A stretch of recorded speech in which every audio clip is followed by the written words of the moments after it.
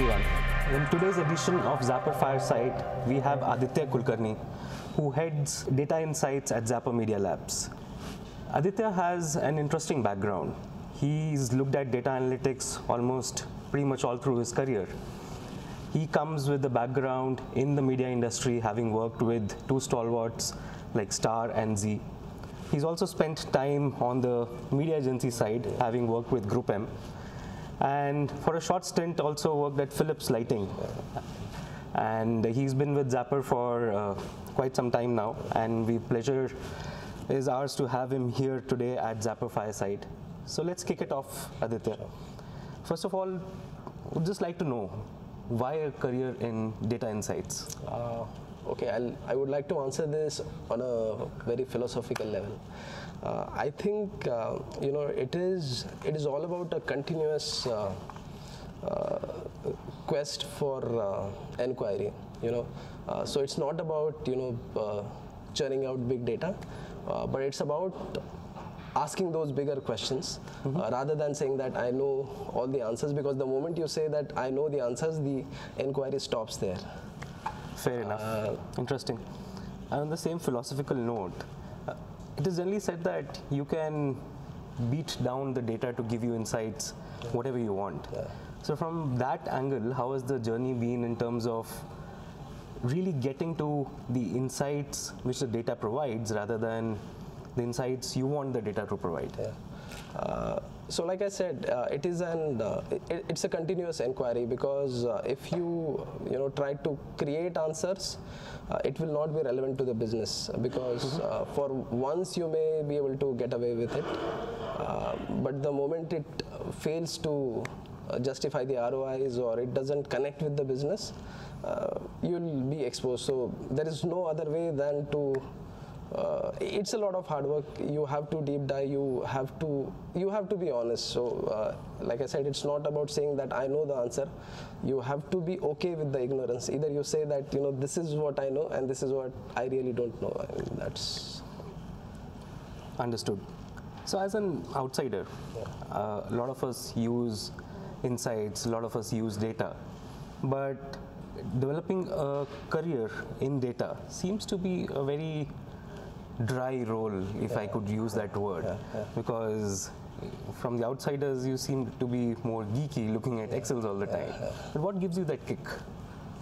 it's a very uh, individual specific thing. So for me i'm kind of a i mean i love the philosophical aspects of data. You know it's uh, the kick i that get from uh, this kind of role is you know uh, you are continuously asking yourself bigger question you know why you are doing this uh, what is the next thing that you want to step into Fair enough. Coming to the media industry, so traditionally the industry has had limited avenues of data. data yeah. And now all of a sudden it looks like there is a plethora of different data streams which are available for the industry. How has the industry been coping up? Uh, it's, it's been difficult for them. Uh, if if you look at uh, over last 40 years, what has happened in India, you know, it started with radio, then came DD, uh, then we had the decade of uh, 90s when uh, satellite came to India. The next decade was about proliferation of uh, satellite channels. And this current decade, we are seeing that there is a massive over, overlap of digital with television. So this was happening at a, a, content consumption level. You know, there were new formats which were emerging. Uh, media consumption moved from just audio to audio visual, from audio visual to uh, more exciting and immersive formats like HD. And we are now, now talking about uh, VR being the next frontier. So that is the one uh, major transformation which has happened. Uh, on the other hand, uh, if you look at uh, the way disposable income has increased in India, post liberalization, especially last 20, 30 years, there was this sudden, uh, you know, creation of wealth that has happened. Uh, now, as a result, so these two things were happening simultaneously. So there were newer content formats uh, which were emerging, uh, and at the same time, uh, the incomes, uh, the income of country uh, uh, went up. Now, this has uh, segmented the consumers. True. uh, to a great extent. You know, even in one family, you could have four different psychographics. Uh, so all this while, while media industry has been using uh, certain uh, uh, platforms for measurement, but now what is really challenging is when you have such diverse uh, country, when you have so much fra- fragmented audience and content format which is continuously evolving. So this requires, you know, having real access to you know what consumers who who my consumer is and uh, what consumers are really thinking about rather than you know uh, evaluating on a very uh, structured uh, uh, platform. So uh, I think industry so far has managed, but uh, somewhere I, because I've also been on the brand side, I've seen that agencies are uh, agencies and both brands are struggling to uh, you know justify the ROIs because uh, uh, because it's becoming increasingly difficult to uh, sharply target your audience. It's very interesting. So, at one extent, we say that there is a lot of additional data which is available for the industry. At the other end, we say that it is getting difficult to justify ROI as well as do a very specific, Specific targeting. targeting, yeah. So, where do the two come in? So, ideally, data should have actually solved this problem. Uh, I think what has also happened is because uh, there has been a particular way industry has been used to. Uh, so somewhere I think they are also taking time to you know move on to the uh, newer ways of measurement, trying to convince clients because there is one uh, currency of the market. Uh, which continues to exist, and there are emerging sources of data. So, uh, I think that is where intelligence is required at every level. You need, you know, as a as an agency person, you have to be intelligent enough to, uh, you know, differentiate uh, grain from the chaff. Uh, or True. the same thing applies to uh, clients also. Uh, So, from that perspective, what you're saying is that the industry is still trying to catch up. catch up. and make sense of the Make sense of different yeah. sources of data which are available. Yeah, But interestingly, what what has really happened and the way you described it is that the data has become decentralized. Yeah. So instead of one traditional body controlling all of that data, now it is available in different pockets. Yeah. So I'm guessing one of the challenges is also kind of understanding which are the right data sets Right to data- pick yeah. and therefore what kind of insights you really draw out of those. Yeah, yeah. So I think which I think will uh, involve a lot of experimentation. So maybe uh, you know industry has to keep on experimenting uh, and try and understand what is it that is really working for them, what is it that is not really working for them. And I think that is how, uh, as a fraternity, we will evolve because only when you let go of the past uh, is when you see some future. But have we as an industry even identified the right problems we want to solve for using the data?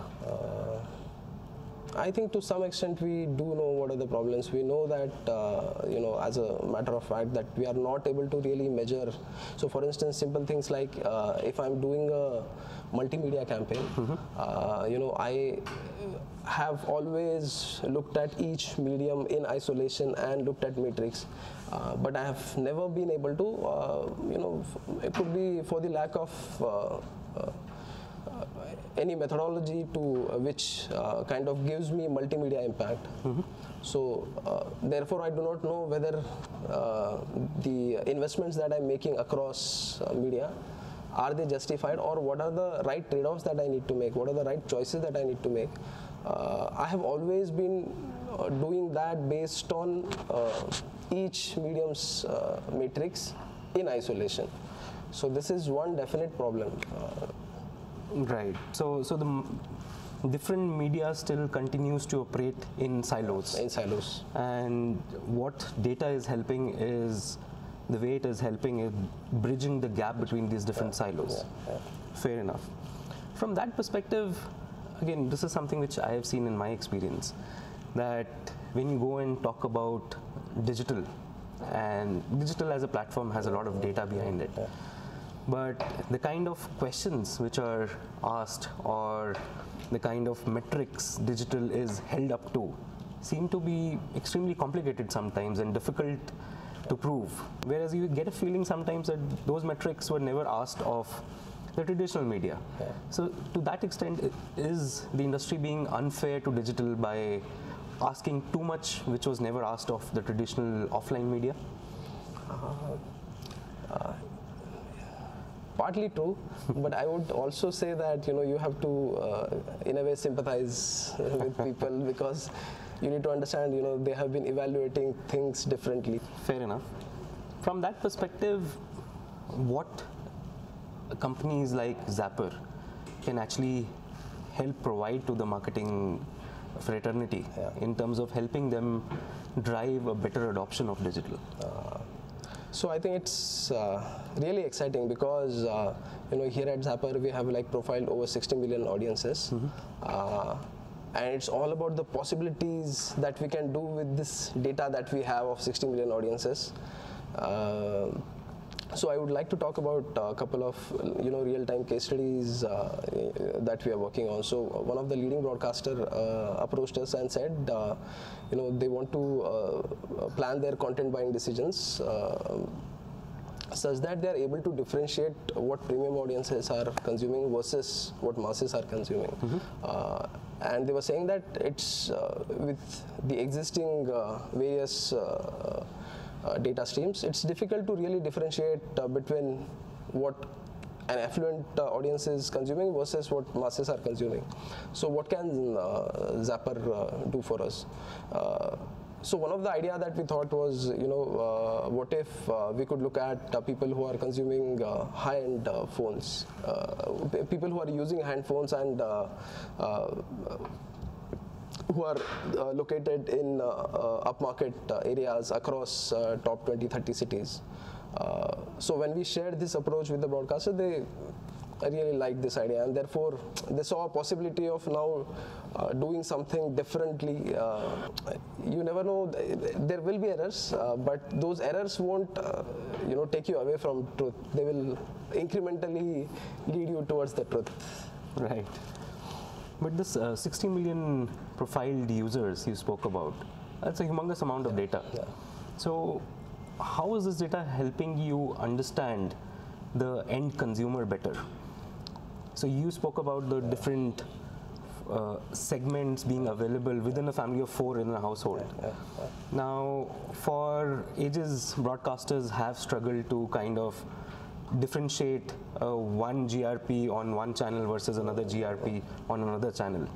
So, with the 60 million profile users, are you any closer to doing that? Yeah, so there is another interesting project that we are currently working on, which is around uh, the whole user profiling uh, exercise. Uh, what we are trying to do is using this whole 60 million base that we have, we are trying to further segment and uh, even create finer segments which will uh, sharply differentiate uh, themselves. Uh, so uh, there are quite a few interesting uh, uh, projects that uh, we have worked upon. Uh, one was uh, for Maharashtra. What we actually did was. Um, we actually uh, differentiated, uh, we, we created different segments uh, of the uh, socio-cultural regions and looked at how, let's say, a socio-cultural region of Vidarbha uh, behaves differently than than Bombay, or uh, a socio-cultural region of Marathwada uh, consumes content differently than uh, south of Maharashtra. That is one thing. Uh, the other thing that uh, we are doing is basically using various filters, uh, such as whether uh, the individual is uh, is a consumer of HD or SD. Uh, what kind of uh, phone does he own? Does is he a owner of uh, high-end phone or is he a, owner of uh, medium-end phone? Uh, so using these kind of filters and uh, uh, creating these newer segments, uh, we have been able to uh, segment audiences uh, and profile them uh, in a in a much attractive uh, manner. Understood. So, we've been talking about a lot of work which is being done for broadcasters. But if you look at the entire value chain of the of where it starts, right from content creators to uh, broadcasters to the media agencies in the middle and brands and then the end consumers, where is it that there is a maximum urgency of utilizing this massive pool of data which is available? Uh, I think uh, in terms of urgency, I think the onus currently is definitely a lot on uh, broadcasters because ultimately they are the content creators. If they uh, accurately reflect the um, uh, attitudes and mindset of uh, larger India, only then they can create right content which will appeal to the correct segment. Only then agencies or, or uh, brands can um, actually connect with those set of audiences so it, it is uh, like you said you know it's it's an entire value chain uh, but at the same time the onus lies tremendously with the uh, with the broadcasters to uh, correctly capture the uh, attitudes of uh, audiences Understood. Now, across, if you look at this value chain, the media agency plays a critical role in bridging the gap between content creators and broadcasters and the brands and the consumers on the other side.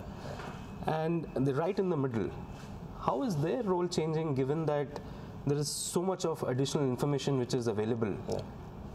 Uh, so yes, their role is becoming challenging, but I think uh, media agencies are also trying to become a strategic partner in clients' uh, planning process. So uh, rather than just facilitating the inventory exchange, uh, media agencies are now evaluating the various data sources uh, which are available.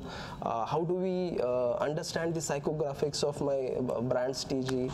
Uh, and you know, not just evaluate media, but also how do you uh, become a part of the entire business planning process itself. Uh, so become more strategic partner than just facilitating the media inventory exchange. Understood.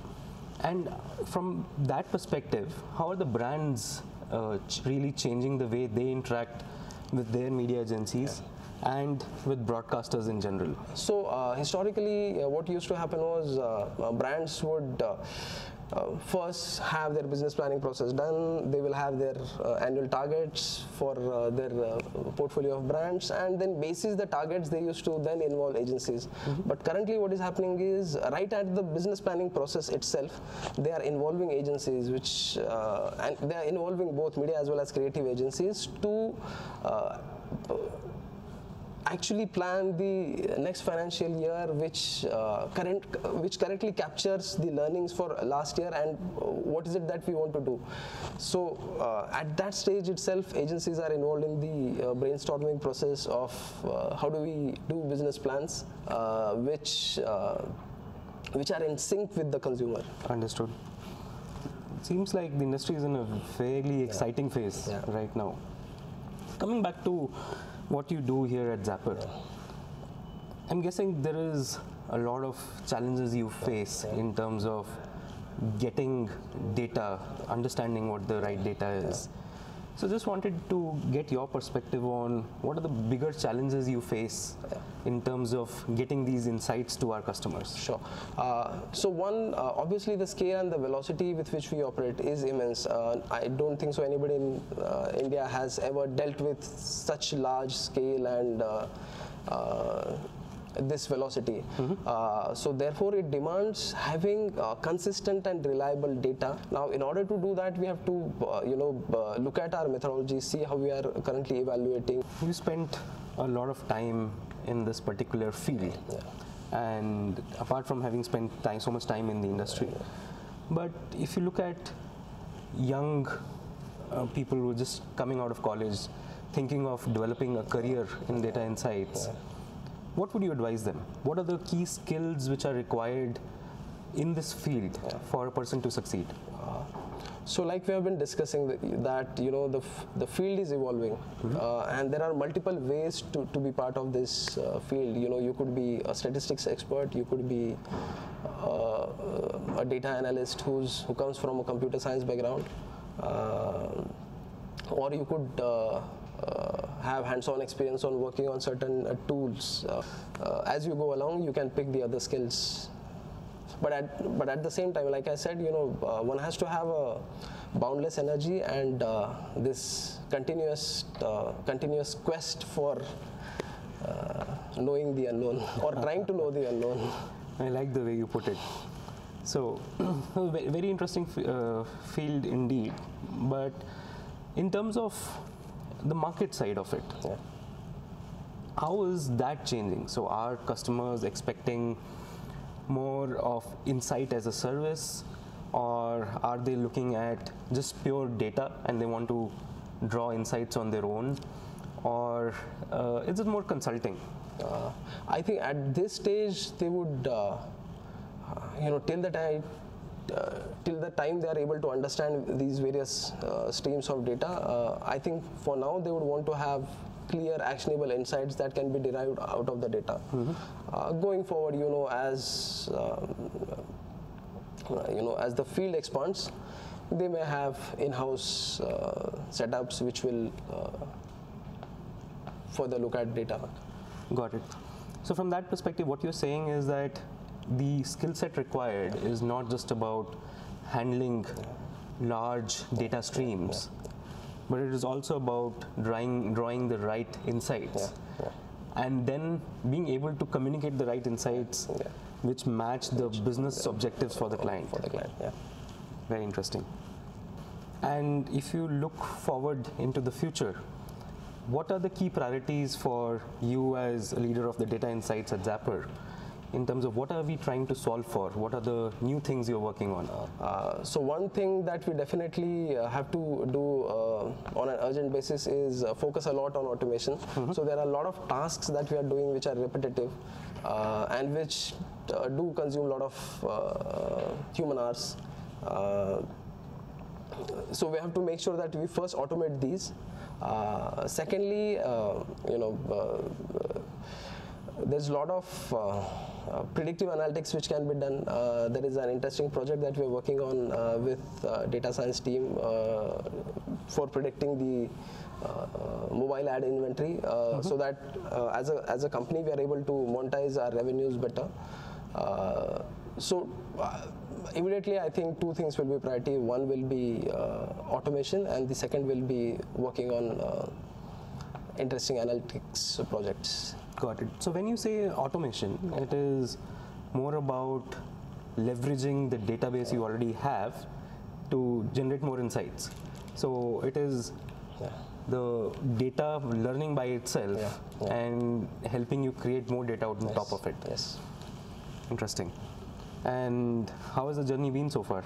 Oh, it has been hell of a ride. uh, because uh, so personally, I had uh, been on all the sides, been on the broadcaster brand as well as uh, agency, and I had like personally dealt with these problems.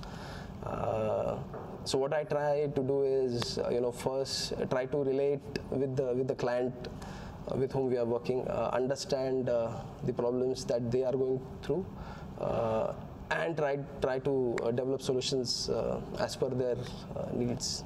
So, like we have been discussing that uh, you know mediums have been uh, functioning in silos, right. uh, and it has always been a difficult thing for brands to actually measure the multimedia impact of their activities, mm-hmm. which because it had an immediate impact on the way they plan their budgets. Uh, so one thing that we are trying to do at Zapr is also try and uh, include uh, radio as well as cinema in our uh, uh, ecosystem and over a period of time maybe OTT because that will then really help a brand to strategically allocate their budgets and make those right choices in terms of how much do I really need to spend on TV versus digital versus cinema. So with this, we'll be able to drive integrated marketing yeah. approach across all these yeah. media. That's what you mean to say. So uh, all this while, uh, agencies and brands have been, you know, using words like uh, integrated uh, strategic planning. Uh-huh. I think if we are able to do this, this will be the real integrated strategic planning. Fair enough. Great. Thank you, Aditya, for a very interesting and insightful discussion on how data is changing the media industry. I think it's still a fair bit of time till the contours of the industry develop, and we'll wait to see how they do develop. But thanks a lot for your perspective. It's been it's been great talking to you, and thank you all for watching. We'll bring you further conversations on Zapr Fireside, where we bring in thought leaders in the industry and talk to them about top of mind problems for the marketers in the country. Thank you once again.